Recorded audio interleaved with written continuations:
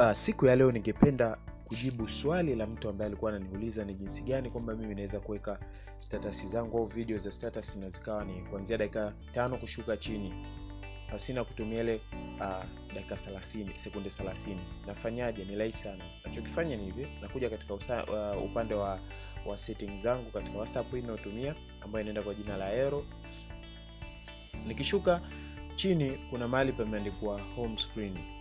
Katika home screen kuna sehemu imeandikwa status, utagusa hapo na ukishuka chini kabisa kuna option huko chini ambayo inakuonyesha kwamba kama unataka kuongeza uh, status yako hiyo kuanzia hizo dakika tano uh, kurudi nyuma, ila isp, uh, ila isipokuwa kwamba uh, utakachoweka chenye dakika tano kitakuwa kinaonekana tu kwa watu ambao nao watakuwa wameseti kama wewe.